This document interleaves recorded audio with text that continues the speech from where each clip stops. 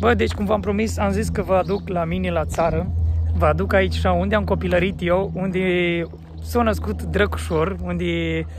Uh, hai să tăiem aici așa când vine să plâng. Da, bă, hai să vă arăt uh, mahalaua mea unde am copilărit. Nu mai este la fel cum era înainte, dar uh, ce să vă zic. Bă, uite la ce zi frumoasă am prins, a? Vedeți?